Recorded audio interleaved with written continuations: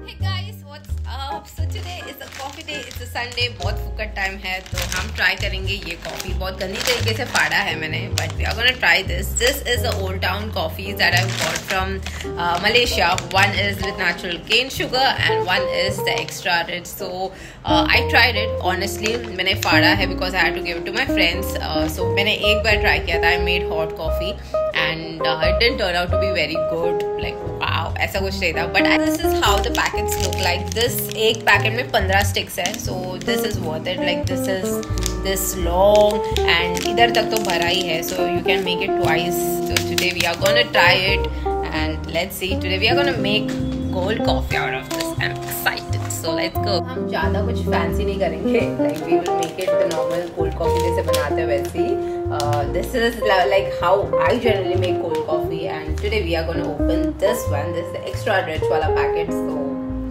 yes करेंगे आज Sunday है